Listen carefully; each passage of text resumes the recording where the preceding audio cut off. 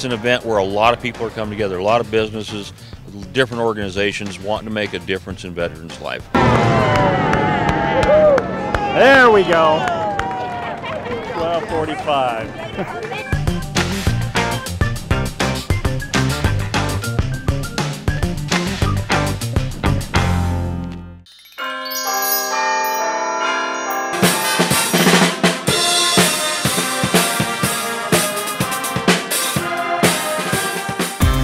Grand Canyon University, uh, they help us out tremendously. And uh, major sponsors are, are, a big part of this. Bechtel is big on just in general community involvement. Coca-Cola is uh, Glendale's best. They're always there to help. It's great to be part of something a little bit bigger than myself. Um, it's just a lot of fun. We love to be able to give back to our community.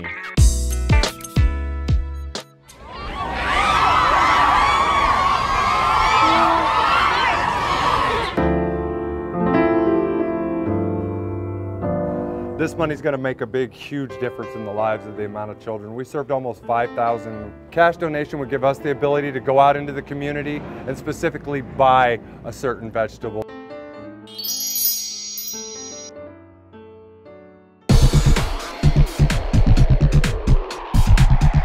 can save a life if you donate blood. You know, this time of year where people need blood and, and uh, Glendale's got some great citizens that are willing to come up, step up and make a difference.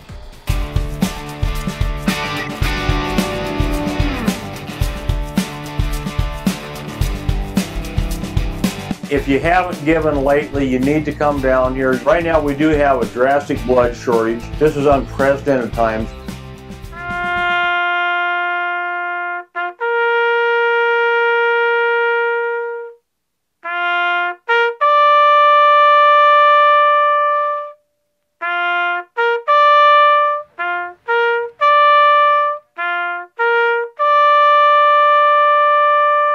Every time the wall comes um, in an area that I'm at, or if I'm in Washington, D.C., um, I stop and make sure that I spend time at the wall and I, I make sure I come and look at his name.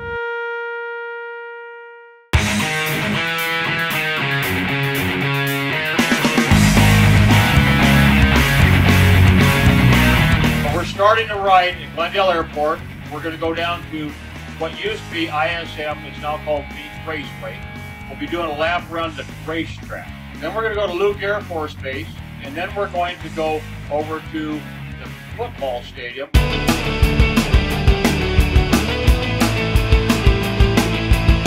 A good afternoon, Glendale employees. I know the last few weeks have been unique, maybe even stressful for many of you. I do want to thank each of you for all you continue to do throughout the city to ensure our water is safe our streets are maintained, our landfills operating, and our residents have access to essential and emergency services. Um, right now we're giving um, one bag of food and one bag of cleaning products. Convoy of Hope has dropped off a lot of food for us and other cleaning products, and so our goal today is to see how many people we can touch in the community.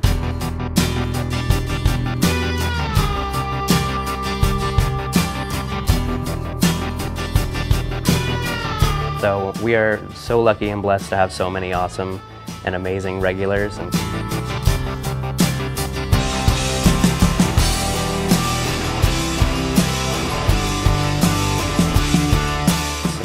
buying gift cards, sharing with their friends. Um, so that's really kept us afloat.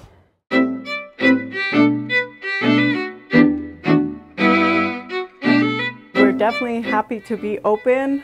Oh my gosh, I could not believe how emotional I got being able to put my sign out front and to turn my open on. I'm grateful. Yeah, I was due in March. A, a lot of people are fearful to come back. Just because we can doesn't mean you should. Every day of our life, we manage risk. You know, life needs to go on. We need to have hope and trust that, uh, you know, our leaders are doing the best they can. So excited to have finally opened up again for our customers who've been calling and wanting us to be here. And we want to be here. What is it, 60 days of closure? Um, a lot of them have been in every single day just to help support. wanting to help veterans, wanting to make a difference with their veterans. God gives us these amazing, bio, I get emotional talking about it, biochemical reactions when we feel so beautifully blessed. Stay disciplined, stay safe, stay blessed, and thank you, Lisa, Nico, Jerry Weiers, Nancy Perry, all the beautiful people, and most importantly, our veterans.